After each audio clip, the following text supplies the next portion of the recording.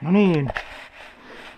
Tästä aamua vielä vaan ja tässä sitä morjesta vaan mennään tästä ja tota tota. Mä löysin tämmöisen hienon mestan. Mennään katsomaan sinne, mitä sinne näyttää.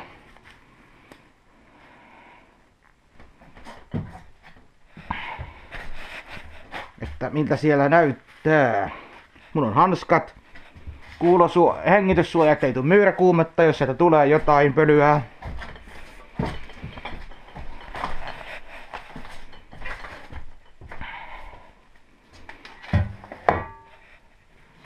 Ja tällaista. No niin. Aamulla vaan tästä, tästä ja mä tässä menen tästä tuonne alakertaan. Löysin, löysin tämmösen mestan.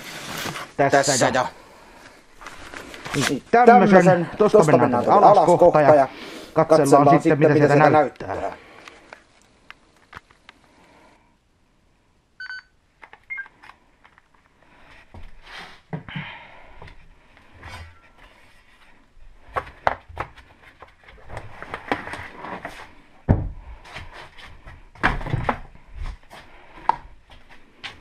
No niin, mennään katsomaan suojaimet sen takia, että jos ettei tuu mitään kuumeita tai myöräkuumeita tai mitään, niin mennään katsoa minkälainen se mesta on.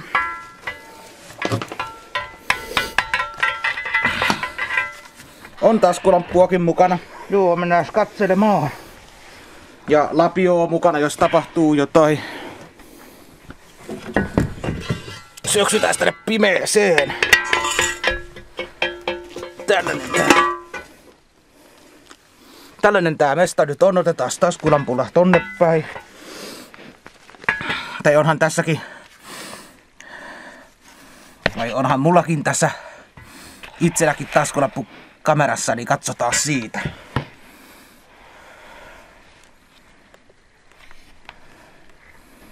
No niin. Katso taas. Miltä tältä näyttää. Ei tää nyt paljon näyttääks tää sitten lisävaloa täällä pikkusen paremmin, mutta tällainen mesta tää on.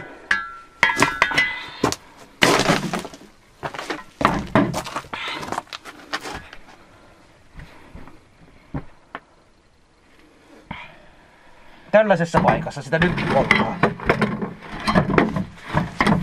Sen takia mulla on hanskat, hanskat ja hengityssuojain.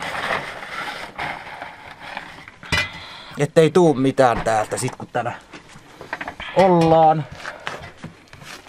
Tällainen peruna, perunakellari täältä sitten eilen löytyi. Täällä ei ole kukaan käynyt moneen hetkeen.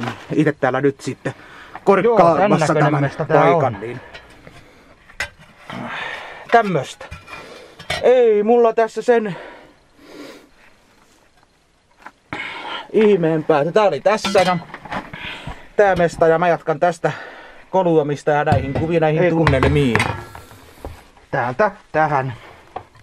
Täältä tähän.